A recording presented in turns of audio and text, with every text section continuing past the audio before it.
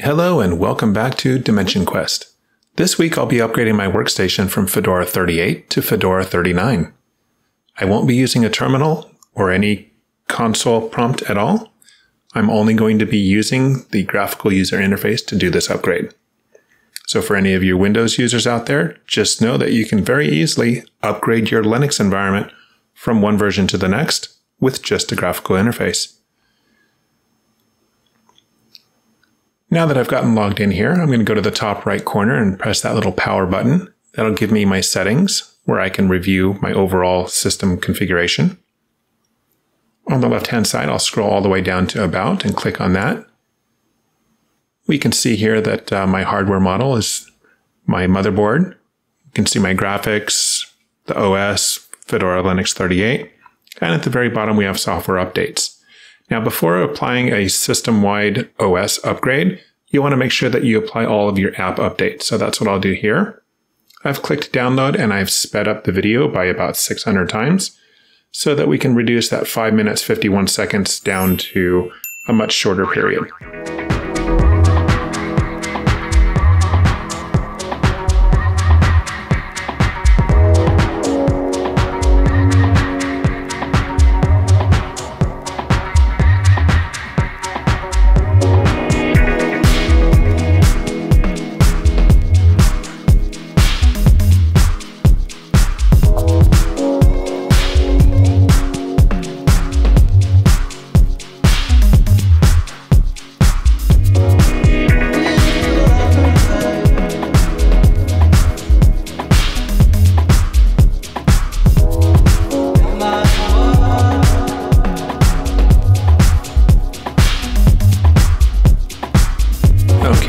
Application updates are complete. So next I'll show you another way to get to the software update. Just click the little nine dots there and select software.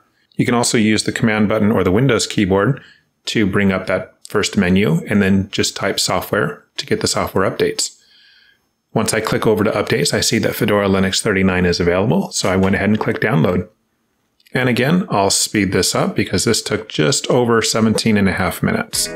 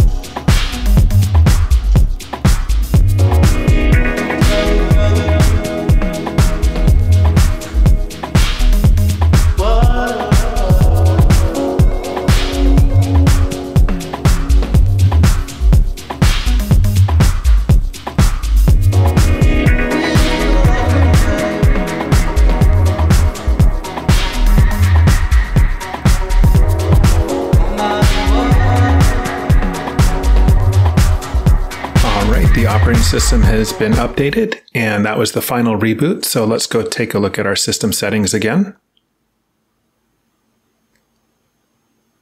And we've got the About selected. We can see Fedora Linux 39. So the upgrade is complete.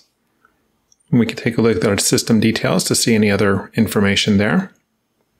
Now, prior to me doing this update, I did make sure that I had a full system backup of my Fedora OS as well as an image based backup to an external drive, just in case anything went wrong. Fortunately, everything's looking good here. There's no further updates available. So I'll go ahead and close out of these.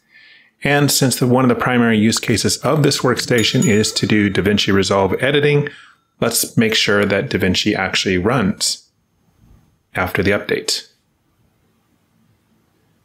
Now I've got DaVinci down here pinned to my bar.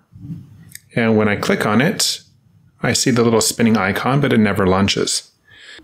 Rather than recording the troubleshooting here in this video, I've recorded a separate video. I'll link that in the top right corner here.